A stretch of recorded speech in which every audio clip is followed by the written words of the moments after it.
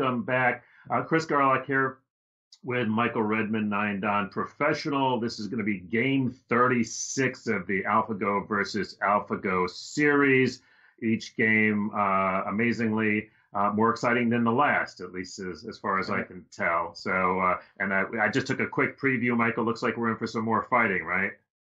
Yeah, yeah. Uh, well, the most in, uh, interesting part for me is the way AlphaGo handles ladders.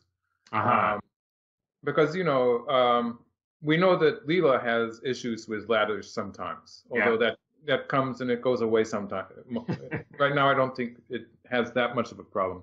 I think right. it might change with the the weights, you know. Right. Um, right. But AG never really seemed to have that problem. Uh, and it could be the superior computing power, or it uh-huh. could be something they did with the program. Um, it's sort of interesting, but it did devise sort of original ways to handle ladders, which is what we're going to see today. If you want to support this streaming, and we would love it if you do, uh, then uh, Stephen will put up a link where you can just uh, do it easily and securely online. And, uh, and we thank you in advance for uh, doing that. We appreciate it. Uh, as always, thanks to the American Go Association and to all the members of the AGA uh, who've been supporting us from the very beginning. All right. So uh, this is going to be the the the ladder game, right? It's a ladder game, I think. All right, let's take a look. Oh, and and um, as always, folks, you can uh, jump in, ask questions. Uh, when Michael uh, puts me to the test, I'm going to turn to you because we're going to crowd we're going to crowdsource okay. it. We're going to crowdsource it. All right, over to you, Michael. All right, um, star points and one, three, four points. So we play very standard for modern. After um, AlphaGo, this is very standard uh, stuff. The uh, early three three invasion. Um, White plays a Kakari, um, and now there's this move. This is actually um, there's an identical game. Uh, I think it was game 19. Yeah, mm. game 19 up to this point, in which White um, White played this variation. White played here, uh, the Kakari, and Black played the next move. So it's a good example of what Black's next move is in the upper left corner. Mm. And White played the double Kakari. And, and this is game 19, so you can look it up if if you're interested.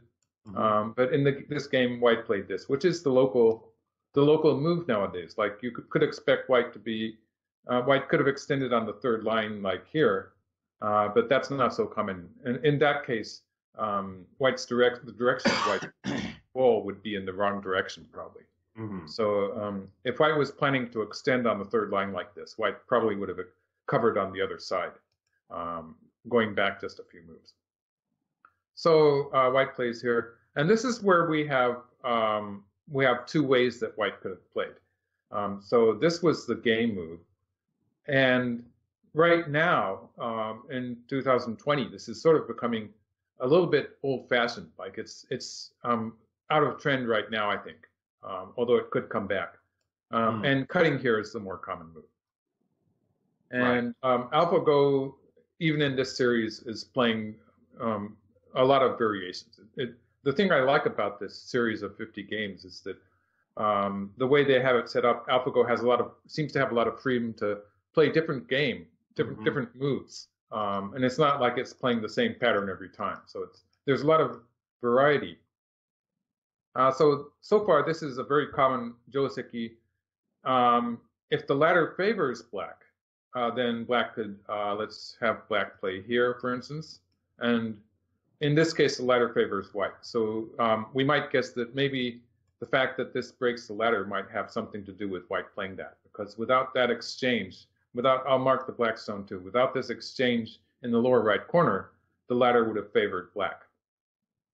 Um, when the ladder favors uh, white like that, usually uh, this is probably bad for black. Like if, if white had a bad ladder and played something like, then white would play something like this this gives black a lot more potential uh, later in the game to be.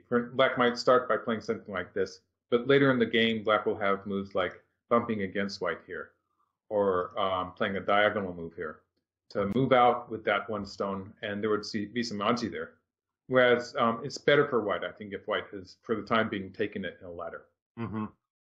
Um, so when the ladder favors white, uh, usually you see black playing this way. Um, this would lead to this kind of variation. Um, this is just one example, but it, I'd, I'd, say this is the most modern version of what people do. And then black has a choice of running out with the two stones immediately or leaving it for a while, maybe. Hmm. Uh, and a lot depends on how that turns out. Like later, next black could be um, black could continue with extending, or black could continue with a diagonal move here, maybe. Um, black does have ways to move out. Of course, white also has fairly strong positions both in the center and on the left.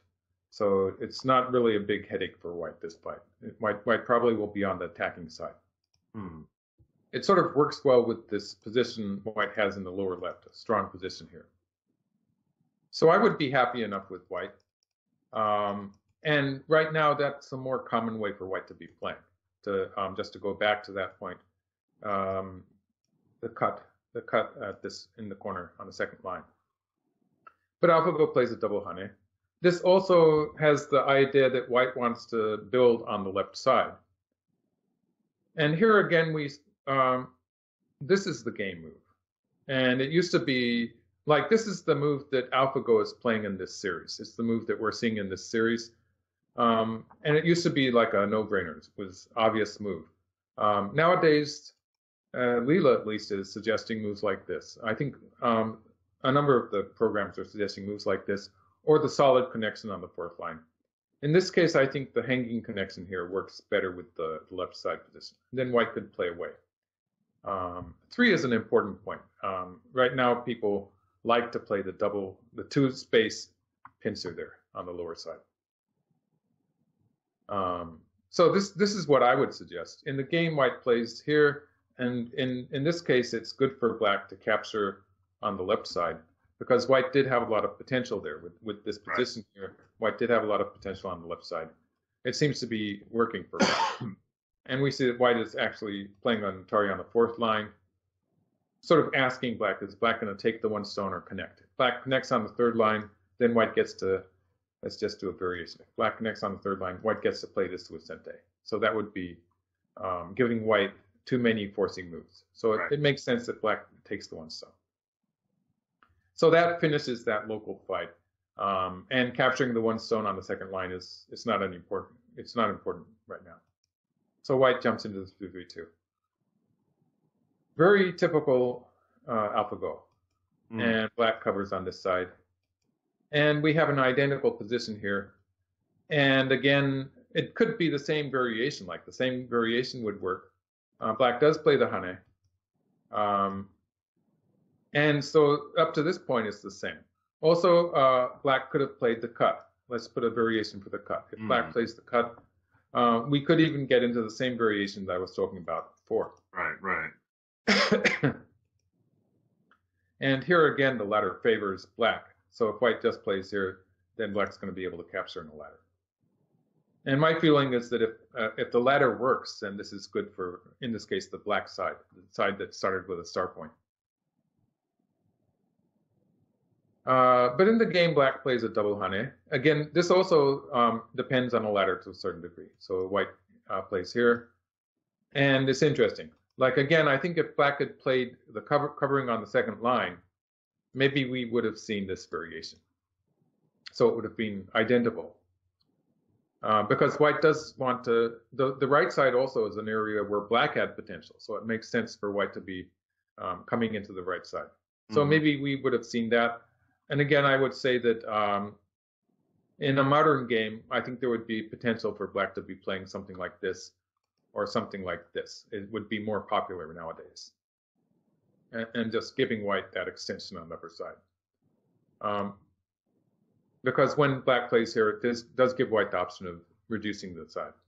But this is also, it's a bit more unusual, cutting on the second line with this timing, but it's also played. It's very similar to that variation I was showing you before, mm. where um, I'll, we'll just run through the moves once more where black plays the squeeze first and then takes. There's this variation, which is the more common one, but this game, this game move with black cutting now, it's very similar. Uh, white does cut once, and now you see white doesn't really have the option of playing the knight's move. Like if black had already played the squeeze, then white would play the knight's move, and we would get to this position.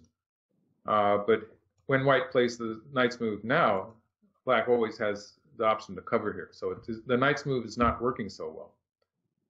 So it makes, and um, just one more variation, extending here uh, would not be good for white because then black would get the squeeze. And this stone here would be obviously more efficient with the knight's move. It's not Oh, efficient. yeah. Um, so that's bad. So it makes sense that white just captures the one stone. So now white's completely alive in the corner um, and doesn't have to play on the side. So it's a given, there's a plus and a minus to that. There's positive and negative sides. And black captures in the ladder. So this ladder is pretty important in this variation. Like if the ladder did not work for black, black would be playing something more like this and um, would not be necessarily attacking in the, the following fight. Like white would be Mhm. able to push through here, and maybe um, black's whole group on the upper side would be in danger. So it would be an even fight at least. So it's important that black could capture the ladder. I see what you And mean white- about the ladders. We've had we've had two already. We've had two ladders, and now white has played a ladder breaking move. This move uh, does uh, affect the ladder. And it's the question of how does black answer this? We could make this a problem.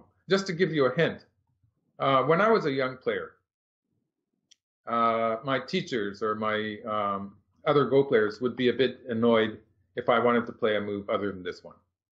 hmm Yeah, Th- this used to be called the honte, or the I guess it would be the hon- honest move in Honest English, move, something yeah, like that. Yeah, Very. It's one of those. no that- longer no longer true. No. Yeah, Well, it's it's, So- it's honest in terms of sort of correct, but but you're saying that that's changed, right? well, you see, it it uh, gets rid of any potential that white might have to escape with that stone. Um, it does make a difference um, when black, um, for instance, later on, black might be covering here or playing something towards the upper side. It does make a difference to have that white stone taken off the board. It gives black a more secure position in many ways. Um, but uh, actually, just to give you one more hint, um, the AlphaGo that was playing against human players in 60 games on the internet, um, it seems to be a bit different from this version of AlphaGo in that um, it was playing a way that is closer to what Go Seigen was playing. Um, while I was, I was, um, I would get into trouble if I didn't play this move. Go Seigen was actually um, suggesting moves like this. Um, a more efficient. oh yeah, right? I remember this. Yeah, yeah, yeah. and yeah. actually, uh, the program, the version that we call Master, um, Yeah. That played on the internet at that time, it did play this move a, a couple of times, I think. Yeah, It's a fun, Um, it's a funny looking move, right? It's a funny looking move, but Go Seigen liked it. And towards the center, it's relatively secure. Like white doesn't have any good, um, white doesn't have any good ladder breaking moves inside here. They would be, all be sort of suicidal. hmm Um, And so white doesn't have any good uh, ladder breaking moves from the center. White does have a little bit extra potential from the other side, like if white plays at the mark point now. But that's probably not so important. So it maybe it's more important to have a stone towards the center. So that was the reasoning that Go Seigen had when he was suggesting moves like this in very similar positions. And I think the AlphaGo that was playing against human players in that 60 game series sort of was um, at that point uh, maybe the uh, the weights were similar to what Go Seigen liked.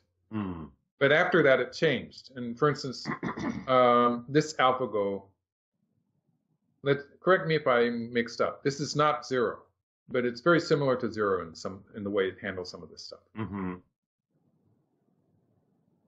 I think that's right. Yeah, I, I was correct. Yeah, I believe so. yeah, it's not Sure, zero, so- but it's very similar in some ways, though. Yeah, that's my understanding. I'm sure somebody can Um, yeah. correct us if we're wrong.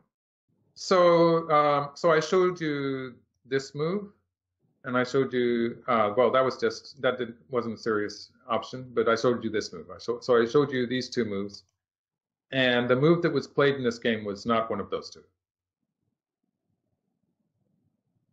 It was sort of taking it one step further. I'm looking at the uh, the shoulder hit, um, or or maybe the counter pincer. Okay, you're talking about J4 here.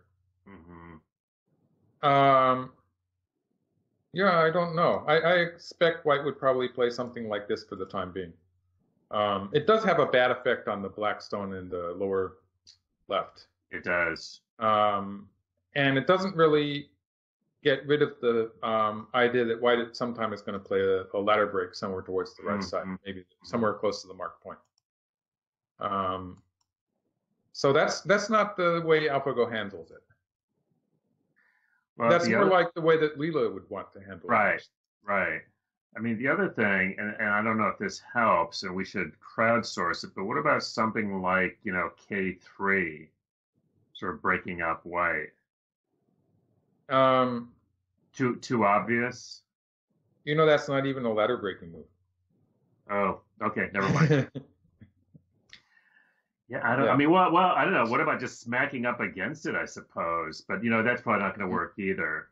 Uh, You're just have- on the wrong track, Chris. Yeah, I, uh, uh, yeah, Let me see. Let me, uh, let, help. let me let me let me turn let me turn to my uh, my friends Yeah. here. Uh, we got a suggestion of H five. That's interesting. A, a space Uh-huh. up. Is Uh, that capping, yeah. tapping? Is Okay. Well, I, I didn't even think of playing so far away from Black's Moyo. Um, I think the problem with, uh, let's see, the, the variation that I made was, uh, for instance, um, let's see if I can still find it. Um, no, maybe I can't. Um, my thoughts were that, uh, like, maybe Black plays somewhere way out into the center. Yeah, we've got to guess Um, at. Uh, we've got to guess at like N10 or Q10, or is that sort of on the right track out there? That's on the right track. That's very good.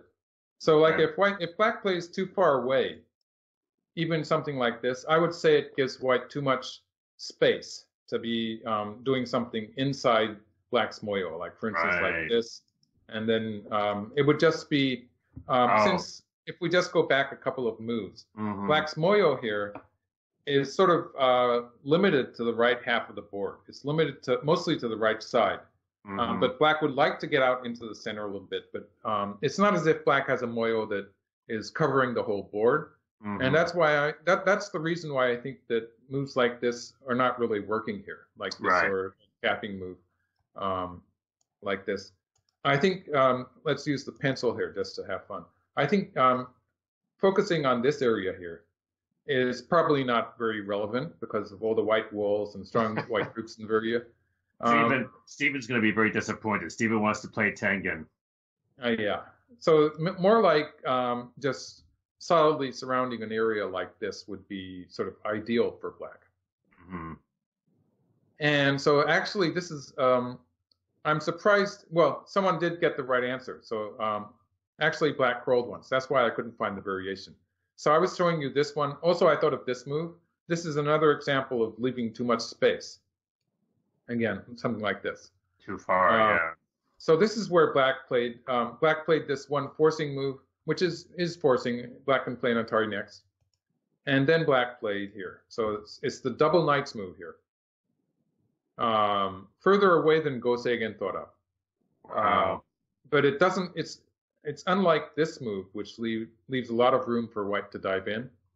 Um, it's a bit more difficult. It's very ambiguous actually, because white does have some room to look there, but it's it's not as good as it would be in this case. That's a So- very interesting. Uh, let me ask you. I mean, you know, is that a move that you think a, a top pro would find? It it seems. Well, you know, now AlphaGo has played this move, this kind of ladder breaking move or making move, um, a number of times. So it's a Ah. pattern that we recognize now. I'd say that before AlphaGo, um, if I played that move, um, the other pros would be laughing at me. I'm pretty sure of that. Yeah, and I would I- be laughing. It would be it would be like a joke almost. I know, I know. Yeah. No, I, I guarantee you that in an amateur game, everybody be laughing. So that's Mhm. fascinating. But, but it seems, for you know, actually the way you explained it, especially with the drawing the line, and thanks for that. I mean, you know, I kind of get that, and it's sort of, it is just, uh, you know, not too far. It's almost like a, um, like a Goldilocks move, you know, not too, not too, Yeah. not too hot, not too cold. But I yeah, well, I would be very happy actually uh, just going this far, um, and the and evaluating the difference here. is Yeah. very difficult. Yeah. Um, it's just taking it one step further. And Zero likes, I think Zero has played this move too. Um, my recollection. Mm. Um, and and this version of AlphaGo plays it a lot. It, it likes this shape. And it's interesting because Leela does have a tendency to be playing um, closer, in this case, to the lower side, so on the other side of the board. Um, but it also depends on the board position. So in this case, as I was saying, I think there's a, a strong focus on this right right area here, Mhm. uh, which makes it um, more important for black to be staying on the right half of the board Mhm. Or close to the center. you might say. But the other thing that I like about it is that, you know, I was just instinctively looking over to, you know, because when you think about ladders, you know, you think about trying to, you know, create the, the ladder uh, to fix it. And so you go across the board. But as you showed, I mean, almost anything you do over there just doesn't work out well for black. It's it's too easy for white in just a couple of moves. So Uh, like this- any move that is going to um, affect the ladder is going to be a locally. It's going to be a, a move that helps white. right. Uh, anything on the lower side. And this this leaves all of that uh, lots of play on that lower side now. Well, the reason that I'm saying that I would feel more safe with this move and just a little bit uncomfortable with this move is that it does give some white white some uh, space to do stuff like this, which is Well, the game move. Yeah, I, that that was actually going to be what I was. I was going to. Well, I don't have to ask now because that is the Yeah. game. Well, move, now now I get to ask you, what do you think Black is going to do about that? Oh man! All right. Well, listen. Uh, we had some. We, our our folks came up with uh, with some good answers. So let's Yeah. let's put it out there. Um, yeah, I was just looking because that's even if I managed to find this move, uh, that is a very good counter. I mean, it really. You don't want to go back and and play close because that would just say that you should have played there in the first place. I would think. Um, Well, for the time being, uh, if white runs out from the ladder, um, it looks bad. So black has to do something about that. Well, somebody wants to tenuki, but I, I have a feeling tenuki tenuki sounds tenuki sounds. White would just allowing white to escape from the ladder in this yeah, it'd be a disaster. Yeah, yeah, yeah. And so, right, that, so- that's that's actually a bit of a misleading hint, but um, it's, it's true. you, you like to do that. Yeah. Um, somebody wants to attach, um, which I was trying to read Okay. out. That, that this is a very interesting, but- human, a very human choice. Um, I like that. Someone wants to play here, right? Mm, I'm, Um, I'm this is- assuming so. It's certainly what I would very, very logical for a human being because it both it both keeps the borderline secure. It also uh, keeps the ladder good for black.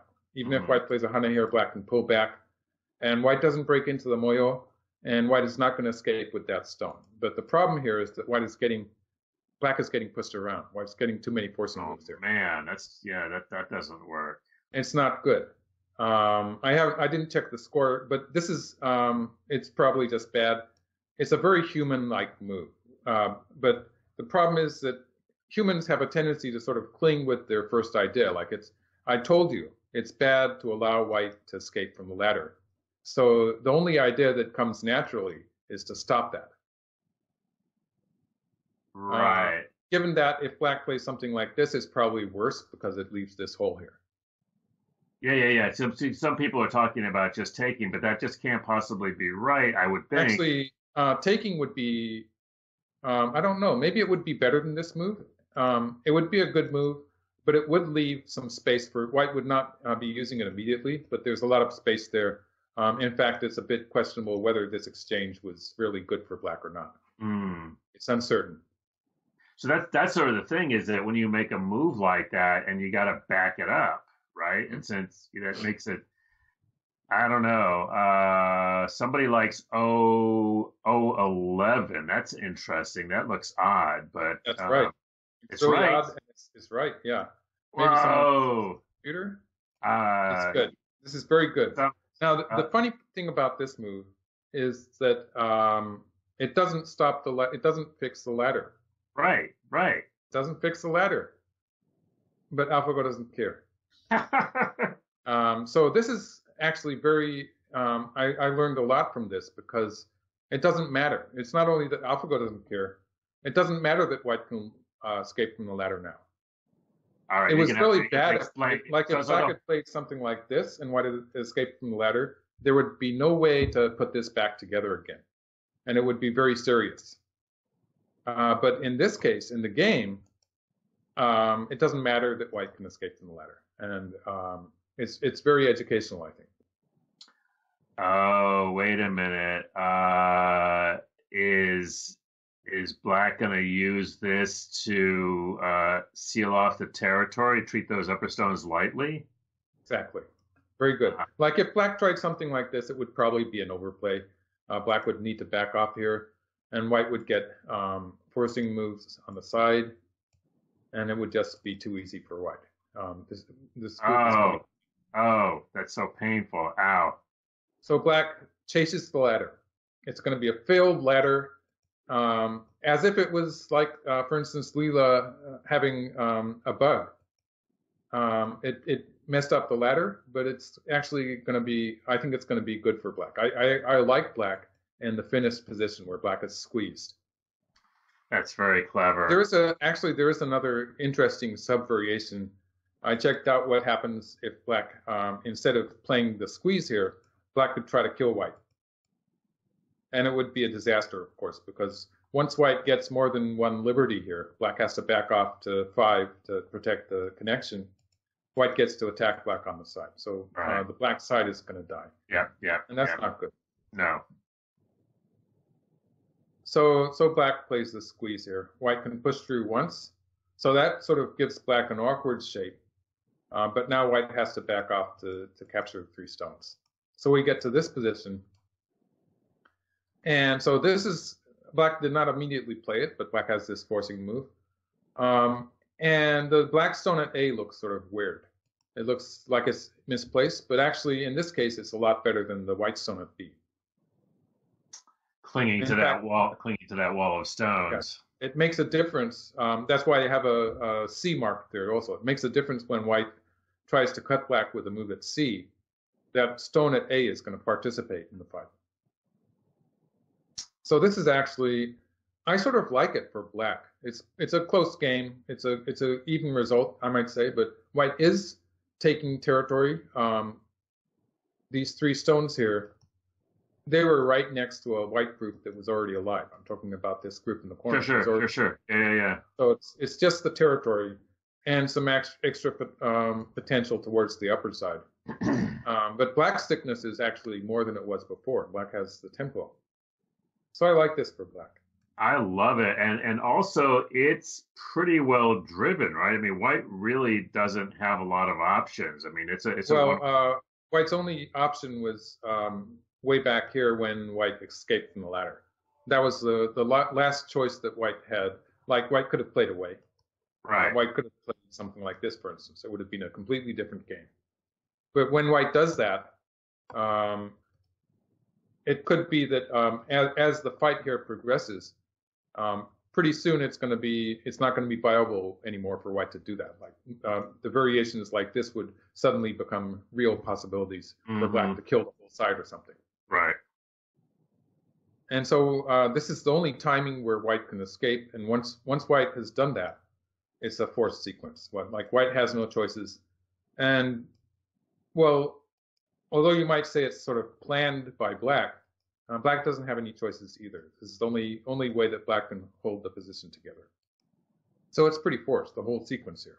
Wow. Very Black cool. picks, and now we're going to see Black take the offensive on the lower side. And White jumps here. Um, Wow. I still don't like this move. White's looking at the cut at A, maybe. Mm-hmm. Um, but this is a bit too close to the right side, and um, and I immediately knew that this is the move that I would play. This is the shape move. Um, like it's further out into the center than a, a diagonal move or a, a knight's move. And uh, the weak point at A, let's just make a variation for that. This weak Mhm. point here is, is not a weak point. It's not a weak point because white can play the attachment here, and black is in trouble. Like um, even if white just um, squeezes with seven, it's it's going to be a negative result for black. Mm. Or white could play more strongly, actually, but this is just an example. This is already bad for black. Wow. Um, Very heavy. black has no way of, of saving both the two stones and this stone with good shape. Like um, black stones are weaker than white. Uh, white has forcing moves towards the corner, like these two points would usually be forcing. So black, white has a number of ways to handle this, and almost always going to be good for white. So black's actually not going to even try to do that. Um, it's a good question. What is black going to do at this point? Black would probably be moving off to the to the left, uh, maybe something like this, and it would give white much easier shape. Like even if white plays here, or if white does something like this, um, it's much better for white to have a little distance from this relatively black, uh, relatively strong area for black. White wants to have some healthy distance away from that wall. hmm So I like this better. Um, and Leela supported me in this. Leela agreed. Um, and so I think I think that maybe this is a problem move. I, I don't. I sort of don't. I still don't like this move. Mm. And and and the game the game variation it does get a bit difficult for white here. Uh, black um, jumps to attack from behind, and white um, jumps out once. And um, there's always the possibility that uh, AlphaGo is going to sacrifice some stones. So you don't really want to be like black could probably capture something here. Um, there's always potential for white to be doing something from the outside. Um, I yeah, that's probably a bit sloppy. Maybe here. I don't know exactly what, but white can always get something on the left side. It's pretty uh, common for the computer not to actually just go for the local profit here, and to black is going to do better by getting a big attack going. It, it makes sense. It's, it's a it's the way human pros think too in this kind of position. Did you uh did you check the stats on this? Is is black slightly ahead now?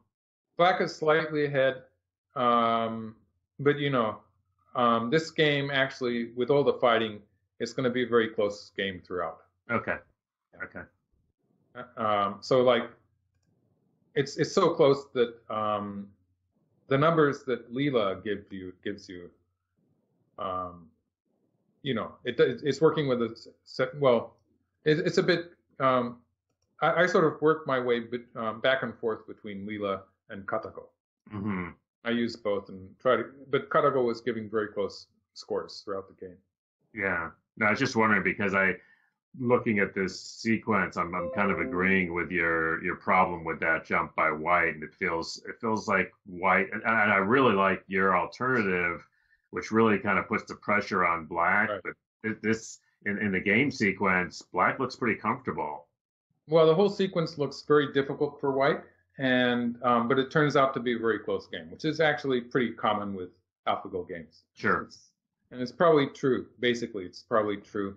It's just that a human player uh, getting into such a difficult variation would have a lot of trouble playing the correct moves. Right. Right. Um, and I think that's basically it's a um, it's a very natural thing. I think a human player would, even though theoretically, like if the computer plays it, maybe it's a close game, but it would be very difficult for a human to be playing with white in this position, Mhm. and relatively easy for black. Um, I was I, w- I did make a variation to show that black here is just um, securing the connection, um, adding a stone here. Without that, like uh, this also would be a good point for black to play, but white would get to cut black off. And in this variation, we're going to see that black has some issues with the right side. White gets some extra forcing moves towards the right side. Um, black with the weak point here. Next, white's going to play a placement here, and black doesn't have eye shape. This this would maybe we should do the variation for that. Yeah. Let's Just take a look at that. variation first. I'm going to have black answer, and white gets to play here. Um, now white has some forcing moves towards the black corner. Black's group in the center is not 100% alive, so white should be able to handle this this weak group that white has. So that's my um, viewpoint here. In this position, like if black does something like this to capture uh, two stones on the lower side, white can play here. Um, there's no good way for black to handle this. Like um, maybe black could live if black played here. Yeah, I think black could live if black played here. Um, allowing white to capture two stones already, actually. Mm. Or, or white could just play here. Again, uh, black has to play something like this to live, and white gets the two stones. So this would just be so easy for white, and um, a big gain in territory too. Uh, like white would be gaining more than 10 points here in this trade, and it would be more than and more than making up for the loss here, which is is there's still very- some. Yeah. yeah. And white getting attack in the center. White's 100.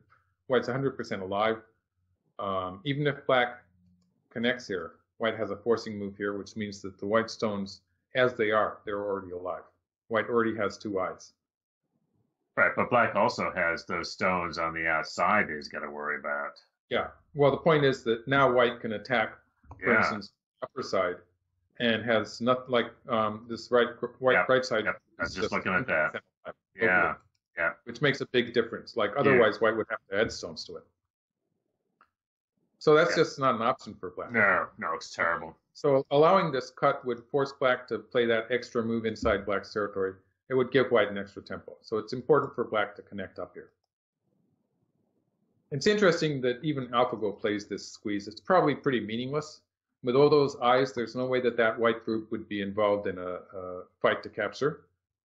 So it would. This is sort of equal to for black playing just here. It's the same thing. There's no difference when whites what when the whites group has something like three or four eyes already. It doesn't Mhm. make any difference. But I Yeah. found it interesting. AlphaGo like to play anyway. Yeah, sorry, people were just asking about that. I was wondering the same thing because it uh, it just seemed kind of pointless, but It's know. a very human-like move, actually. It, it is. It is. It's. It's. it's And- I, I, I can make you take it. Right, yeah. And in general practice, like if usually it's reducing the number of liberties for this white group in the upper right. Sure. And so if if there was some potential of some kind of a um, even a very remote potential of some kind of a semi fight to capture coming up, then there would be some meaning in reducing the liberties once. But like in this case, it's um, it's even too remote to be called remote. It's just, just the fact that white has these basic eyes here. Um, almost impossible for black to take them away. Um, Right.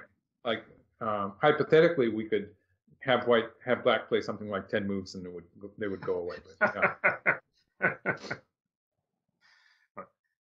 but it's interesting. Of course, it doesn't lose anything. There's um, it's it's it's okay. It doesn't make any difference. Right. Um, and white pushes out once, and you see white's really busy here.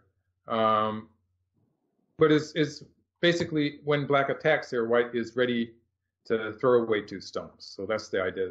Um, these two stones here are not as important as uh, let's use the pencil again to show the area. This area, controlling this area is actually more important than saving the two stones. Mm. So that makes sense to me. Um, and white plays here. This is this is a point where if white had played here, um, this would be very dangerous. And even if black allows it to live, like black could play something like this and be very cautious, it would still be a lot of moves white um, of, of almost worthless moves that white has to play. Um, so this is just a variation where black has allowed white to live, but it's still, still very good for black. Hmm.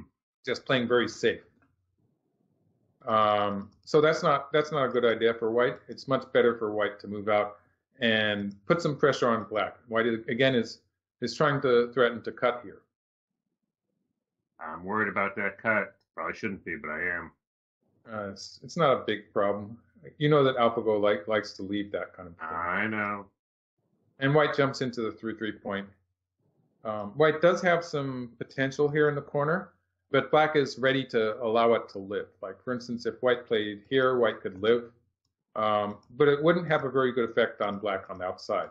Um, like it would actually strengthen black on the outside, and black would have potential to just swallow up white in the center there. Um, Oh, the fact wow. that white has no eyes, no extra eyes for that group. So um, white leaves it.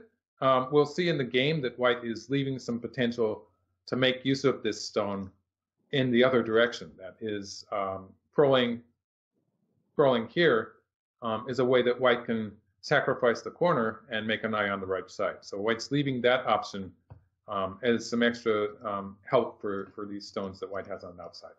The potential to make an eye on the side there makes a big difference. So uh, black uh, takes the move to live in the corner. And this is pretty much, it's, um, it's not alive. it's not alive, but white's not going to go after it. Uh, so white plays a peep here. And this move basically is saying, go ahead and make a, a life. Like if white wanted to kill it, white would go into this variation. And that can kill it. But black does get this extra forcing move here with the ladder. And um, already there's there's still a lot of bad odds. Black would start in the center probably, but there is that move at A that could happen later on. Um, because white will be having, after this, white's going to be focusing on trying to live in the center of the board. Uh, and so like if, if there was a black stone, the most direct threat is if there's a black stone that comes here in the process, black would be able to escape at A. And that would be very a very strong attack against white on the lower side. Mm. So just the extra aji there, the potential there for black makes it makes this a different uh, a difficult variation for white to be going into. Just trying to kill the whole thing would have a bad effect on white in the center. So I'd say this makes sense and it's alive. So white counterattacks. So now white is cutting off the three stones here. Wow. So sort of the tables turn at this point. Now white mm-hmm. is starting to attack. Uh, but black gets some counterattacking potential, obviously. Mm-hmm. Yeah, so like this. And so black says, are you going to cut? Uh, at this point, the black stones are not so easy to kill. There's they still have plenty of room to run out in the center. So it, it's very um, it makes sense that white is not going to cut that dame point and is going to try to force from the center. So uh, white plays this move in the center, and white is looking both at this cut and this cut. And you might notice that in this all the fighting here that is happening uh, in the lower right, and um, it, we could include the lower left also the in this whole area, all of the fighting, you might notice that uh, black is taking territory. The whole process here, black is getting. Uh, let's okay, let's. Black got a nice territory here. so this whole area is pretty much black's territory. Mm-hmm. Although I did tell you that black white has a way to live in the corner. Right. It's not likely. Right. Right. Um, black got to um, erase this area. So this is a live group now. So that white territory is gone. So there's a lot of immediate profit that black has gotten out of this. And, and so white, white really white, doesn't have white much. just escaped from, with that weak group on the in the lower right, and most of white's potential on the lower half of the board is, is gone now. So white is trying to get so from this point on, white is trying to get some potential to attack black mostly. Right, because folks are just asking who's ahead, and I think you just answered that because you know technically on the board, black is ahead on points, but white's got that uh, those two those two potential cuts, and so there's going to be some attacking to uh, make territory while attacking. I'm assuming, right? In a human game, we would say that black has a lead in territory. Right. So, but that that's not really the way AlphaGo is judging the game, I guess. Uh-huh. Because there is some potential for white to attack. There is some potential for white on the upper half of the board, upper side. Right. Right. So this is this move. It's nice. Black jumps out towards the upper side, oh. still putting pressure on white. I like it. And white crawls. So white's um, sacrificing the corner to make some extra eye space on uh-huh. the side. Uh-huh. And if white plays next at C, white has an eye there. Right. Um, uh, instead, white plays here. It's interesting that white actually needs to play something here. White could have played at C, or white could play the game move, the bamboo joint. Uh, the bamboo joint is better as far as territory is concerned because it's threatening to save those two stones. Mm-hmm. Why did black? Why did white need to do this? White needs to do it because if white plays away, black can actually push through here and then wedge between the two white stones. Obviously, if white oh. plays here, we're going to see black squeeze white, and that would just be easy. So um, if white captures the two stones, though, white doesn't have enough room to make life. So that's, for the time being, it's dead.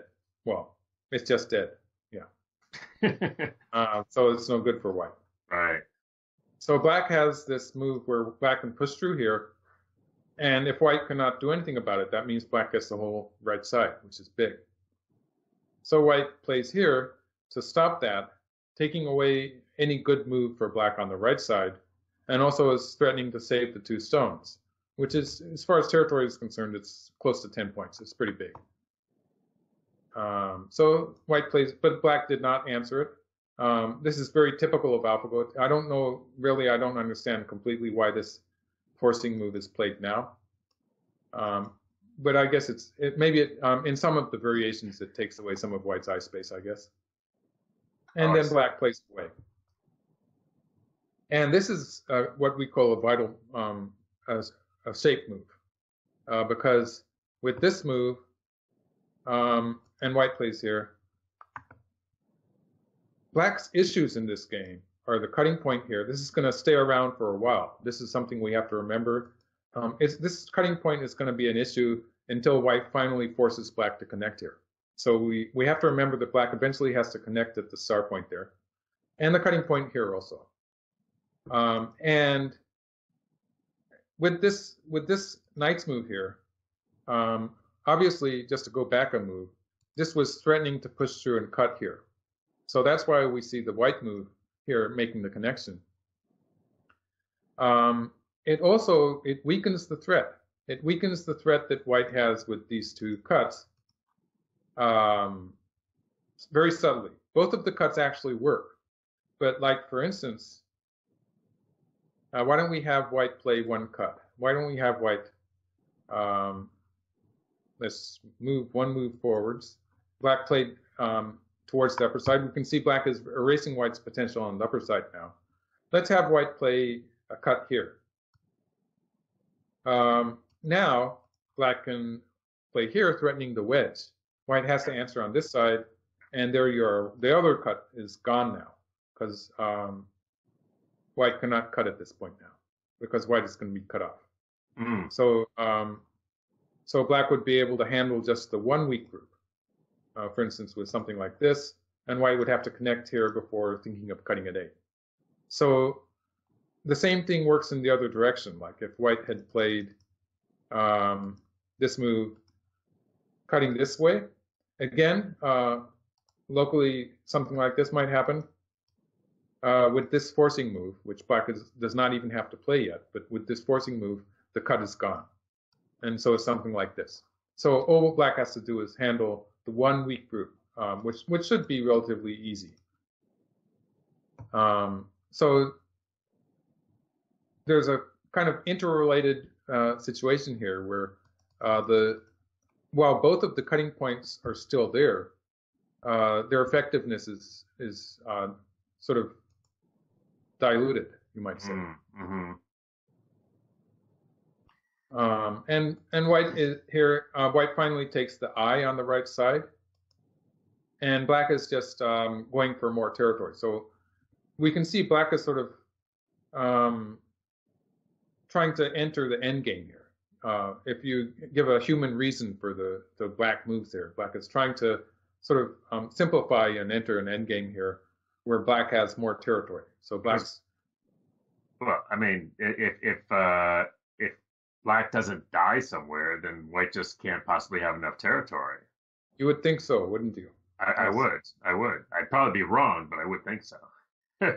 well, it's actually a very close game. Um, and the point is that the, the white potential is very hard to see, um, but that doesn't mean it's not there. Like right. um, even myself, I would have trouble telling you um, telling you what white's potential is. But well, I was just going to ask have, you. I want, I want uh, to know on the left where... side. Okay, I can, I'll map out get, areas. Get the, In get this the whole pen. area, get, uh, yeah, the pen. This whole area here, although black has played a number of moves on it, those black stones are still weak. And so I would say that um, it's going to take black a lot of more, a lot more moves to get a um, fixed position there. But for the time being, white has potential in this area, potential in this area, and it's all go- uh, in order to really realize that. Obviously, it would be very inefficient just to try to make some territory there, but um, in the context of an attack against black. White has some potential to do that. Okay. So Um, there's the fact that black still has to deal with that cut at A, which means that white has some potential in this general area also. And these are all small areas, but every one of them, um, each area is basically controlled by white. And so there's potential for white, but um, relatively small potential for black. It means that white's going to pick up points. It's, it's invisible uh, territory attached to white's thickness. I love it. I love it. But actually, that that makes sense. And each of those, even though they're small, like I'm guessing 10, 12 points, but that that that adds up. the maximum. Like it's more likely that the various territories will be smaller than that, but they, they will add up. And the point is that while black has some territory here, some territory here, uh, black has more territory at the time being, nice territory here. These are all territories that are not going to expand. And even this area here, which Right. is relatively wide open, um, even if black plays another move there, it's going to be difficult for black to get, say, 10 points, even adding a stone there.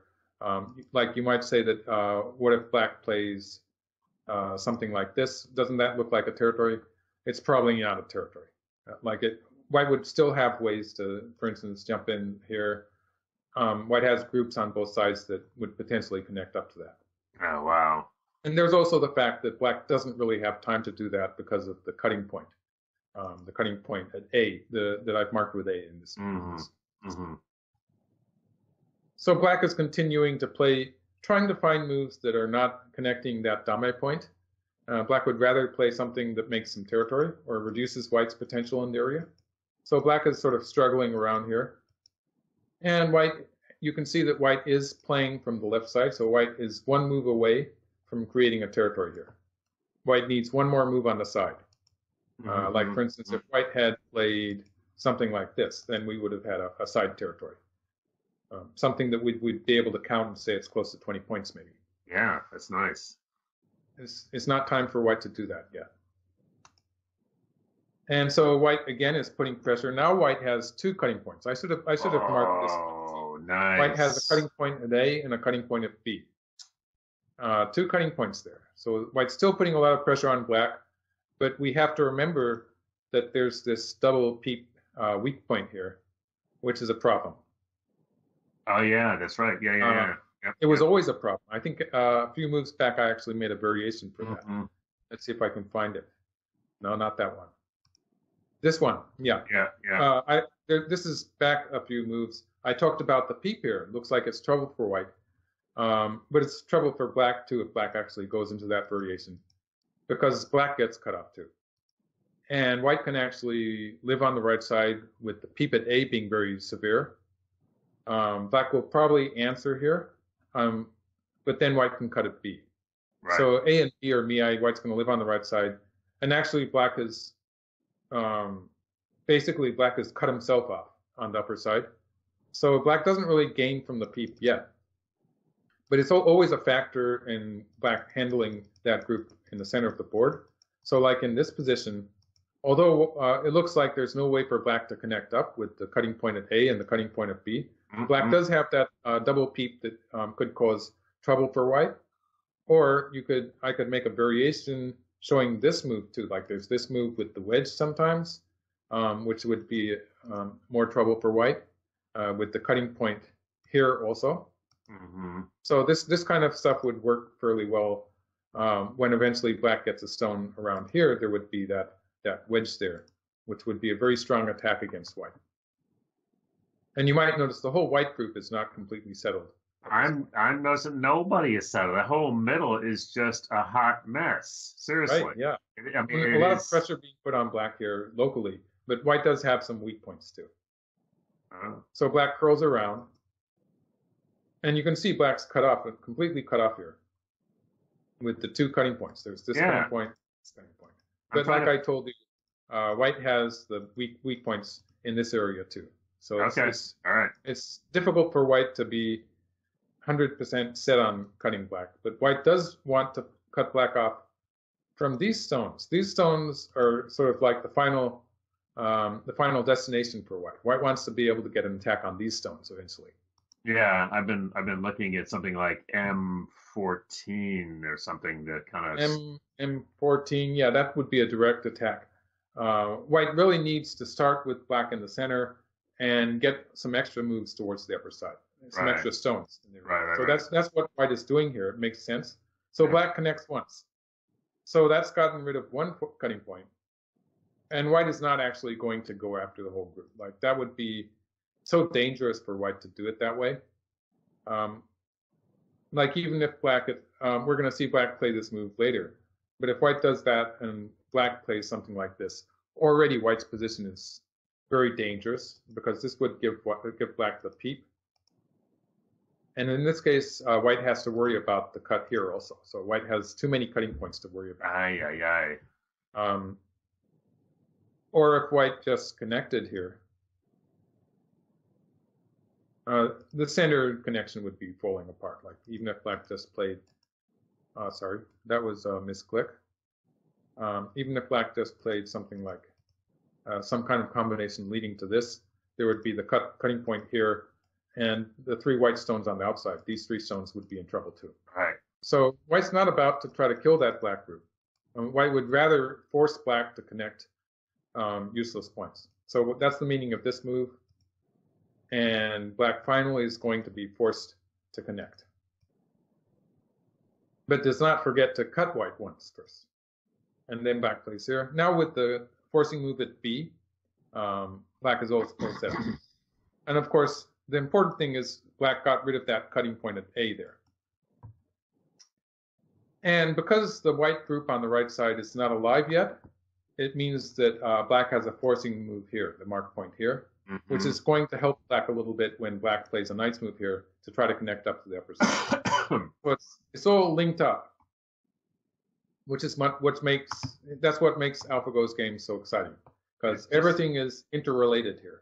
it's all these so, dangerous Yeah, yeah, yeah, yeah. No, it's just gorgeous. It really. capturing yeah for white capturing the upper side and sacrificing the lower right is- is just not an, an option so white has has to um, has to be careful let's just leave the one forcing move this forcing move that i've marked here um, white will always have to answer that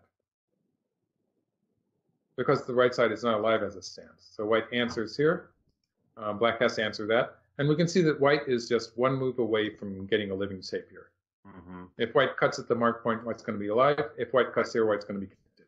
So white's okay. So white gets to play away. Uh, this was just a forcing move. And now white's going to attack the upper side. So finally, white, uh, this is the final attack for white. Um, and so black plays here. this is actually helping black on the upper side. You might uh, find it hard to I probably just, didn't see that. I, I just did a double take. You go back and check the day. I just. I, I thought you did a Right. click on Yeah, it. I saw it. That was a click. uh, when black plays has the forcing move here, uh, black could actually start playing with this move. Black could play here, and white would have to connect. That would be one way to do it. Black has that forcing move at three. It means that if black plays here, it's going to be relatively easy. Or if black plays here, it's going to be relatively easy to connect up to the center. So black has no problem. But this is a big move. It's a really big move uh, towards the corner. Um, it's it's a big move, creating a, a weak point here where black can play a peep. So this is actually helping black on the upper side. Just Wow. believe me. Okay. No, no. I, So oh, this is a forcing move. Um, yeah, I'm just showing you that variation. Black could have connected once. That, um, it, I, it's not an important variation. Black lives on the lower side, and white plays um, plays the cut at A. Now the cut at A, um, obviously, it's taking away the forcing move for black at B. It's also um, strengthening white's group at C. So I'm talking about, let's mark more of the stones. It's, I'm talking about this group, which was actually not such a strong group. Um, so the fact that now white has the potential to connect up with this move. White also has some potential towards the upper side, but the, if white connects up here, now white will be connecting up to a living group. Uh, so with that, and of course the extension here, um, that has given white some extra security with that Mm. group there. So it's um, it's a it's also for territory. It's a big move. It's a big move as far as territory is concerned. Mm-hmm. Mm-hmm. And so now black has to deal with the um, upper side. And yeah, this move, this move, you might say it, it took me by surprise. But it's a very, uh, um, when I What were you, examined it, well, you you know, the expected move, white, white is pushing here, white is threatening to cut black off here. A very natural move would be to connect here. It's not as if the black group is going to die. But no, black is not going to do that. Black didn't do that, uh, but played the knight's move. And actually, as far as territory is concerned, this is probably better um, because uh, this is reducing white's area, white's potential here. So this area is more important than uh, the two Ah, stones I see. these two stones here. This move is hard to find because it allows white to push through. Push through. Uh, let's see. When do white push through? White push through now. It allows white to push through here. So it looks like this move here that black played, which was supposed to defend something, it looks like it's failing. That's the that, that's the feeling you get. Right, but actually, right. um, it's it's functioning because black is going to um, improve that with moves like I'm marking here. These two moves on the side Ah, and the actual execution of that is is not simple.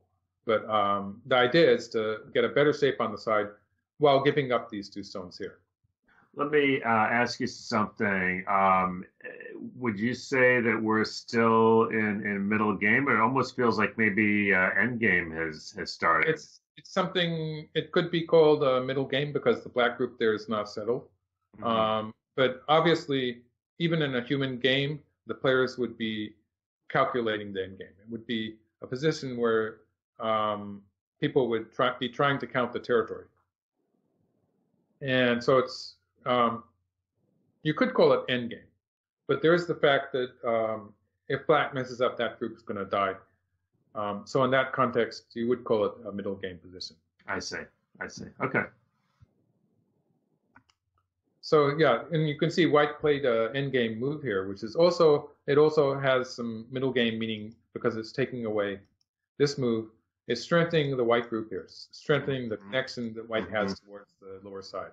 So the, they're end game moves, but they're also um, have to do with the life and death of stone sometimes. hmm And so white pushes through here, and black plays the hane. So next, when black plays the hane here, black is threatening to cut at c. So for instance, if white played here, uh, black would be able to cut here. Um, now, if black had cut immediately, if black had cut immediately, um, then white would have a number of ways to deal that with that. White might just play a hane here, and if black plays here, white can play the diagonal move here, threatening a snapback. Um, this looks like it's not going to work for black. It's not a ladder. So this would just be giving up too many stones in the center of the board. hmm Yeah. So that's a uh, playing the hane there. Playing the hane here, that black is setting up the cut here. In which case, white would have, um, like, cutting here to go after two stones in the center is not really an option. That's just bad for white. Mm. So white uh, captures the two stones, and black plays this move. So you can see that black got two very important move, point moves here. Um, although it might seem a bit strange that black does not follow up with the hane, like you would maybe expect black to extend here. This would be a very natural move. Sure. Um, but when black plays there, white gets some extra forcing moves here. And uh, this black stone is completely cut off now. Wow. Gives white some extra potential in the center of the board. That was going to be, uh, yeah, that, that's a nice area. Then, then we just enter the end game. Um, and actually, the upper side, although it looks like you know you usually um, focus very much on the side territories, it's not going to turn out to be that big a territory. So the center, in this case, peeping here to sort of keep a loose connection with this stone is more important.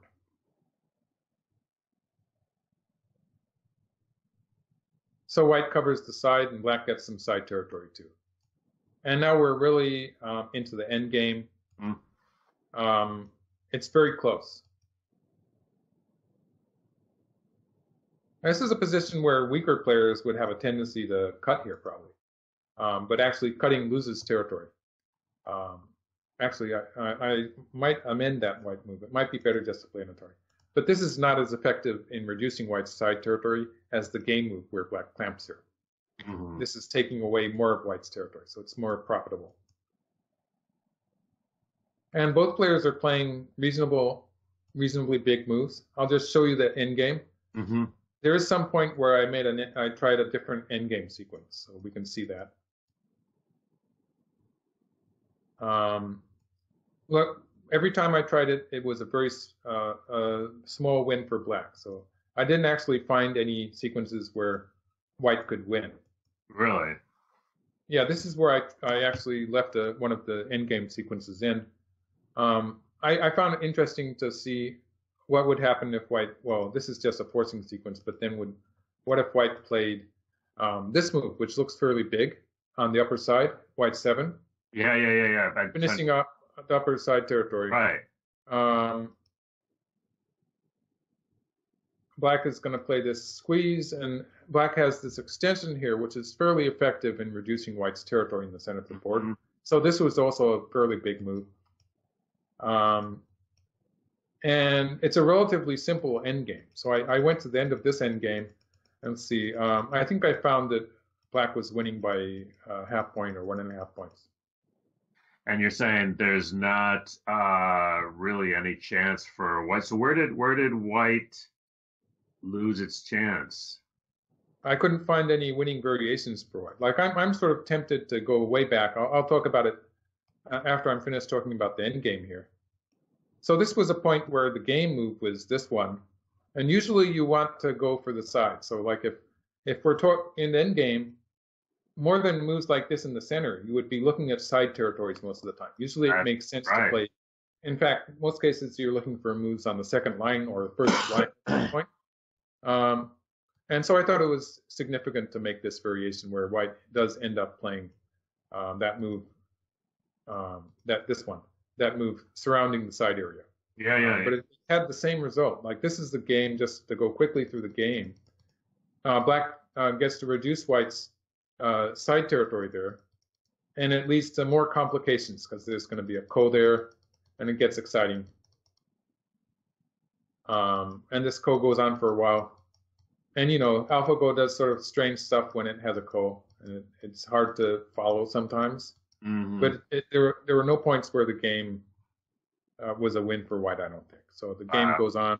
Just to take you to the end, this is where I um, I finished the game slightly differently to show that uh, black was uh, three fourths of a stone. So it's a half point uh, counted with Japanese rules. Mhm. Um, but um, you could say uh, one and a half points. It's just a different way of counting it. It, does, it doesn't Right. change the win loss result.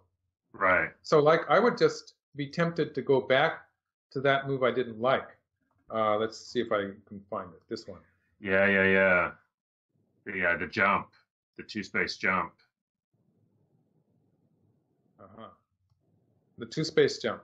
Yeah, so it's, the, it's, it's yeah, way back. It's, it's, it's farther Yeah. back than that. Yeah. I'm, I'm, I, I and I like. I gotta I say, have to touch I, up my use of the controls here. Yeah. it This move. show, yeah. I, I like your move much better.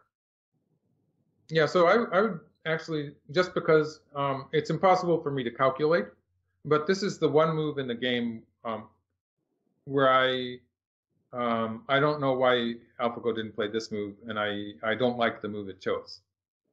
So this Wow. would um, and you know AlphaGo when it plays against itself, um, uh, um, the more and more I study them, the, the games almost tend to always tend to be very close. They um, a half point difference is Sure.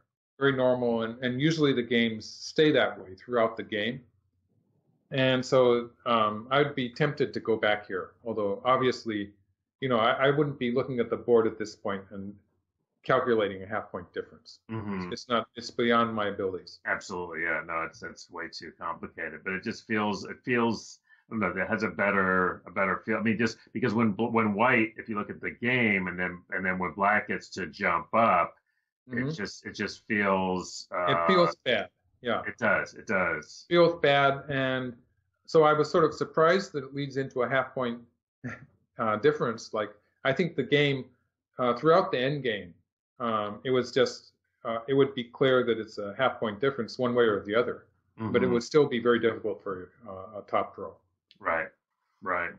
Well, some fascinating. I mean, I loved the whole ladder thing in the beginning, and thanks for going into that in some depth because you know, and, and that sort of little mini mini mirror go you know thing with the oh, yes. with the uh, similar uh, Josekis is sort of fascinating, and and I have to say for you know an amateur player, counterintuitive because you know it gives you these sort of free floating walls. Yeah, you don't know what to do with them.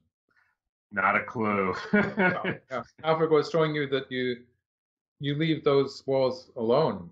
Yeah. yeah. yeah. You don't you don't Absolutely. try to do something with it. Yeah. Great game as always, Michael. Really appreciate it. Thank you so much. And thanks to all of you for watching. Uh, just a reminder uh, check out the Go Congress, gocongress.org. Um, we're uh, I, I uh, there's going to be some interesting things. Um, I'm not quite free to talk about them yet, but I'm in touch with the organizer, and it's going to be some very interesting things. If you let me just uh, give you a hint that if you like what uh, what we're doing with these commentaries, then you're definitely going to like what uh, some of the things that are going to be featured at this year's Go Congress. So more to come on that. Uh, of course, you can follow all of this stuff, the news, Go News at usgo.org um, including uh, we just posted a report on a, on a big tournament that's been uh, postponed because of the um, uh, the virus outbreak. So. Uh, always breaking news on uh, all things go.